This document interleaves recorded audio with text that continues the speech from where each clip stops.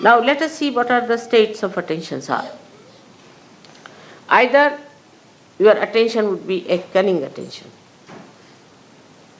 Anything you see, you see from a cunning angle. Many people develop that in an ego-oriented society. And moreover, if you are sort of possessed by cunning bhoots, then God save you and save others. Like the cunning attention would be that anything you see, you start thinking, what advantage I can take out of this? How much money I can save, you see. It's very, very quick. Uh, it would be cheaper this way. Uh, if I go by this way, I'll save some time.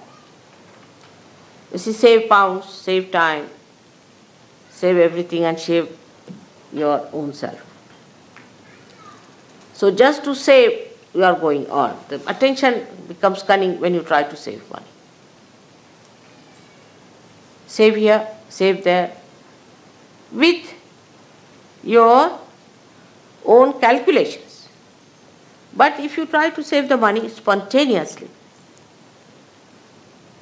actually there's no nothing to be tried, just it happens that you save. But the cunning attention tries all the time to be smart about things. It argues, it uh, gives explanations. Is it better? These days it's such a cheap, cheap, cheap, cheap, cheap, cheap thing that you go mad, really. Like I had a ticket to go to America. I said, don't give me an expensive ticket, first class, or I'll go buy a cheap ticket. So they gave me a ticket of such a kind that I would never have come back to London, at least for a year. And I would have lost in that American English actually, somewhere. So it's so much I've worked out, you know, this into that, into that.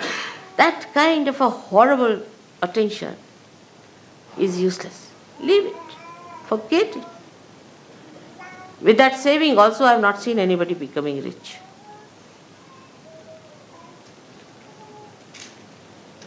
Like you want I want to go and buy some paint.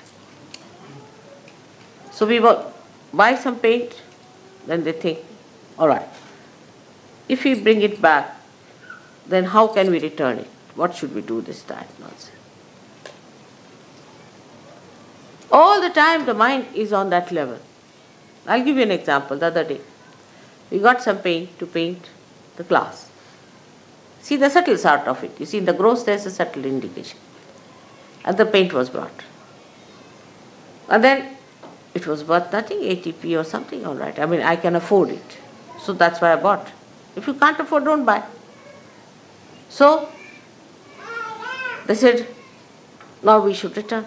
I said, but why? Now it's come out, now go and return. You spend so much petrol going there. If you want to calculate also, it's stupid and the time will be wasting. No, but mother, you see, ultimately we save 2p.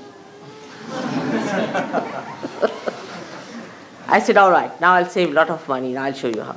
I took that paint and painted many things which looked like glass or which was stone-like, and the whole thing looked so beautiful.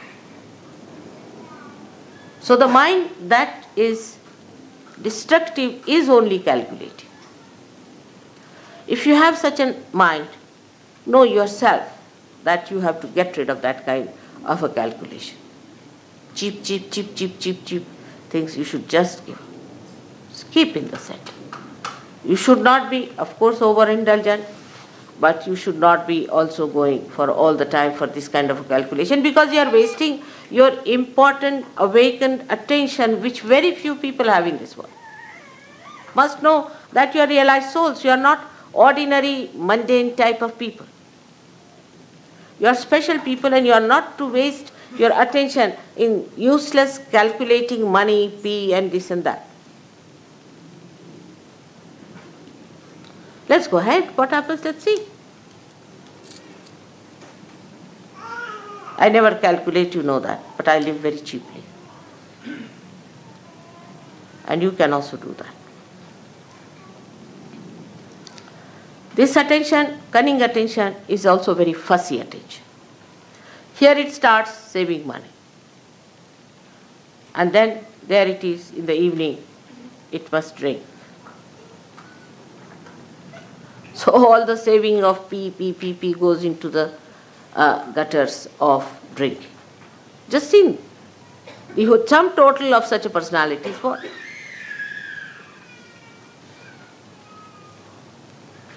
So this mentality has to be controlled, especially for ego-oriented people are extremely calculating, most surprising. But the people like Indians who are not calculating are not so rich. They are very generous. They always have money for Sahaja Yoga.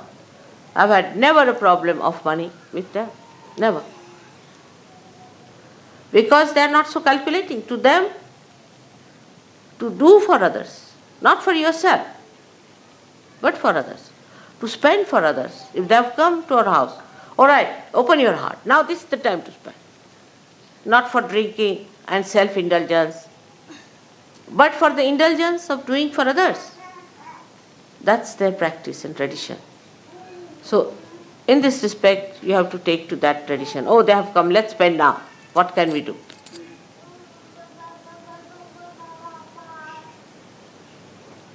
This is the main thing one should understand. Those who are mostly self indulgent are extremely miserly people.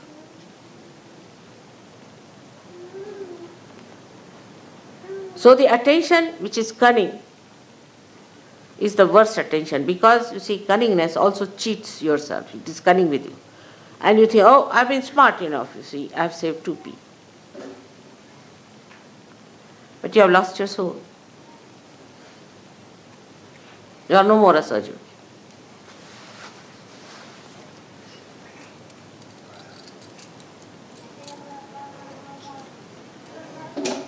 I'll give you an example. I told somebody that keep the van down there. Go by train. This van seems to be a horrible van. and there was a lot of, you see, explanation with both the fingers going on like this to me, you see. And I got so fed up with the bombshells coming on me that I said to go ahead. And the thing fell and the thing got spoilt or whatever it is, is out of order now. So they had to do what I was telling them. Without the bombshell, if they had listened to me, it would have been all right. so your attention should not be on saving material things and uh, worldly things and all that, but attention itself must be saved. Ask a question, where is my attention? I've seen in the program some people are concentratedly listening to me, but some people cannot. Some are concentrated for a short while, and some get disinterested after some time. Some are looking there, some are looking there. So, how much attention you have saved is the only concern of a Sahaj Yogi Forget about others. They are all garbage cleaners, you see. Forget about others who are not seeking, who are not of your quality, but you are a quality. Now, what do you have to say? For example, somebody is a king. He doesn't bother of 2p being saved. I don't know, Baba, these days. I can't say definitely. They must be also doing that kind of a thing, you know. But what is he bothered? To save his grace, to dignity, but for a Sahaja Yogi, the most important thing is you must save your attention. It's called as Chitta Nirodha. Nirodha, saving of your attention. Where is it going? It's such a precious thing for me. Where is it running? Then how do you save your attention? Is through concentration. Concentrate. Try to concentrate. Don't allow your attention to wobble. Gradually, you will develop concentration. You can watch my photograph. It's the best. Concentrate. Bring it in your heart. Let it be integrated in your heart. You are lucky people. You don't have to build up a photograph and then give it up because it is just a avalambana, means it's just a uh, dependence and then you remove it. It's a complete dependence for you and a load for me of complete joy. So when you are concentrating in Sahaja Yoga, absolutely fully in Sahaja Yoga, then you are controlling, saving your attention one. This is one type of people. Then the another type of an attention, what we call, are the people who are sort of take a very negative attitude. The first are the positive, so called, so called positive, who are saving money, saving everything. That is useless. Now, the second type are the archbishops of all that is disaster, misery, mishaps. This type of an attention. If you read newspaper every morning, you will have an attention like that. All the newspaper people have that kind of an attention to find where is the disaster. I mean, in a sinister way, they feel happy there's a disaster. I've seen people, oh mother, I came to the seminar, but the problem is, you see, there was no water. The attention is in finding disasters within and without. What happened? There's a disaster. What happened? I lost a pin.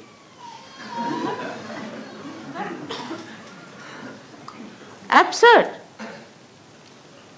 to have such stupid ideas. They will cry and weep and make everyone miserable. Oh, I'm so miserable. What? My husband doesn't talk to me. Or my child is not with me. Such people are extremely self indulgent as far as their relationships are concerned. They make everyone like that. Oh, the person didn't talk to me nicely, he was this way and that way. They feel hurt at the slightest touch.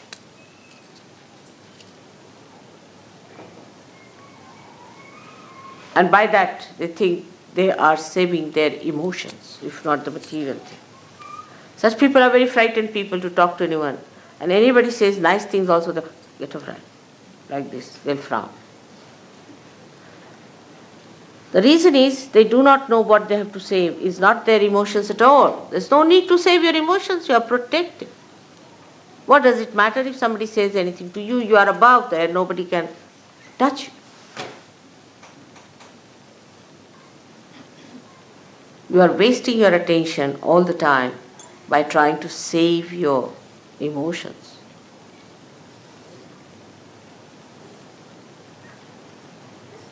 There's nothing to be frightened of anyone.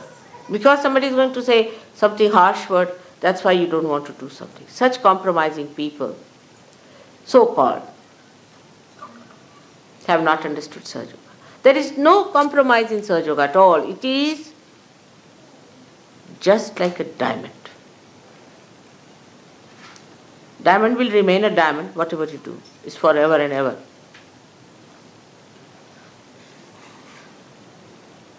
It's like that.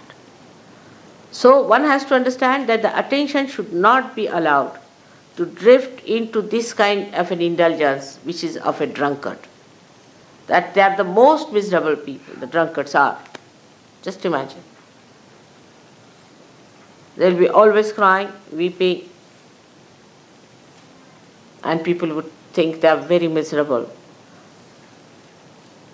So, what you have to save at that time is your attention from such indulgences into useless expression of your fear about your emotions. The third one is a very horrid, idiotic one. The idiotic one comes from the second type, where the person is emotionally indulging. That is the A of the third. And the B of the third comes from the first type, which is stupid. So we have two types of people one idiotic and another are stupid. but in Indian language, there's only one word, especially in Marathi, is murkha. They don't, for them, both categories are the same, as if the circle meets at the same point.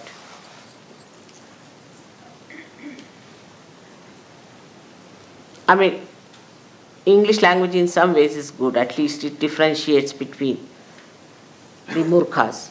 Like they can be stupid or they can be idiotic. You see, because of psyche being so confused here, that psychologists have brought out some are schizophrenic, some are idiots, some are stupid, some are donkeys. so, this, the third type, is the worst, is most frustrating for me. They'll stick on to me like leeches, they'll be saying stupid things all the time. Just can't bear an idiot, isn't it? They can bore a person. I mean, all sorts of this put together is called as murkha. So I don't want to analyze it, it's a bit too much. So that kind of an attention you have, then you better keep quiet. Don't talk. Just listen to others what they talk, what they say. There are some people who will just go on talking, talking, talking, irrelevantly, uselessly wasting their energy. And such people are always friends of the cunning. The cunning and such people go hand in hand. Because the cunning, cunning wants to befool someone and the fool wants to be befooled. Like a king will have a jester. It's like that, you see, these combinations work out. So for such people, the best thing is to keep quiet, preserve all their attention, all their energies just for cleansing. All this idiocy will pass away very soon if you try to preserve yourself. Don't talk. Don't say things which are stupid, which are idiotic. Just keep quiet and watch others. Sometimes such people can become very great vehicle of God's power.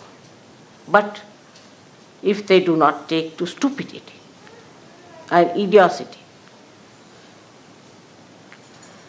this is the type of people, three types I would say. But the fourth type are the people who lead a life of concentration. I mean, a person who is working very hard, say in the office, is a very remarkably successful person and is this and that and that and that and that, is also very concentrated. Somebody who works very well anywhere with a concentrated mind is concentrated. A housewife who looks after her husband and children is very concentrated. Uh, and a husband who looks after his family and his things very in a concentrated way. They know how to paint well, they know how to do things, and their hands are deft and they know everything. But such people can have a very immobile attention, very immobile, like plastic. Or you can call it uh, like rubber. At the most, to improve on it, we can say, like some of the things I've seen which you use for damp proofing. See? You just apply it, after some time it's just parched into it. They, they just can't get out. They just can't. They can't enjoy anything. Unless and until you show them a file, you can't talk to them. See, if you have to talk to such a person, better take a file before you. And before starting, you put the file. If it is on the file only, they will see. But if you talk, they said, make a file. Very parched. And they cannot enjoy life. There's no mobility. They cannot be creative. They can be creative only as far as their style is concerned, but not the creative of the joy. So that kind of concentration is there. Concentrated effort people put in. Like there are people who are fanatics. They are very concentrated in their effort, extremely. That's how all these religions have spread, like Christianity, Islam, Hinduism, and all that, because they had a concentrated effort of fanaticism. Concentrated effort. If you read the letters of Paul in the Bible, you will see the concentration of it. You go there and you go there and establish a church and do this and what have you done. And very organized, very systematic, absolutely uh, moving like a belt on a machine. And they all the time have that after effects of that movement. Charlie Chaplin has shown in his picture Modern Times. I used to enjoy that very much. That used to tie up a belt, you see, standing for about an hour. And then after some time, when he was released of the job, he used to go on like that. that kind of an attention. That is concentrated means stuck onto something. It's not that. It's not penetrating. Because if your attention doesn't become by concentration subtler and subtler, then it is not that, but it is getting stuck. And the stuck attention is of no use for Sahaja Yoga. Such people, I do not know, will never be saved perhaps. So called successful. They'll go with all their badges, everything, and God will say, Go back, gentlemen, you are not yet been passed through the customs. There is another organization which works much faster, much smarter way, and a very specially efficient thing. So these people will be just stuck people. Now there are fourth type of people which are concentrated. They're intense, deep. They penetrate. Because they are living minds. They are not dead, parched minds, they have living mind. They penetrate. I watch sometimes. I ask some people, what do you think of a particular person? Immediately I know what they talk. If they just talk in a mundane way, oh, he's a fine person, he's a bad person, this thing, that thing, then I know what it is. Very superficial, shallow. But a person who sees the possibilities and the potentialities of its awakening and the problems a person is facing, then I know that he is the one who has that concentration into the subject. And the subject of Sahaja Yoga requires the maximum, maximum penetration. Because Sahaja Yoga, if you have understood, I don't know if you have understood or you are aware of it or not, but is learned through experience and through nothing else.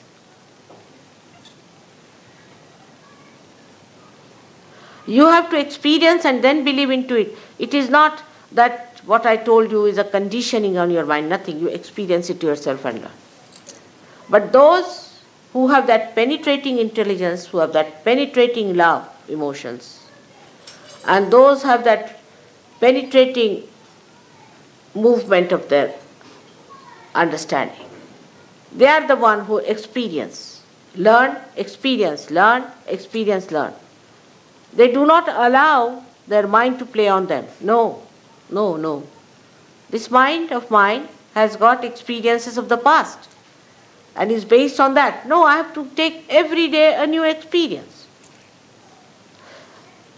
And that experience must be silenced within me, must be sustained within me, must be conditioned within me. Sahaja Yoga experiences are the good conditionings. How can it be? I have seen it, I have faced it, I have had it. How can it be? But for that also to have the best experiences, first condition is of Rutambhara, Pragya, where you should be of that level that you really get those experiences. Otherwise, you will be just a mundane type of person all the time. And you may live with me, but you will not have those experiences. You will not have that blissful feeling. Nothing. That joy, So this penetration starts by your meditation and sustenance of the meditation and the samadhi seed sprouting, manifesting the new dimension.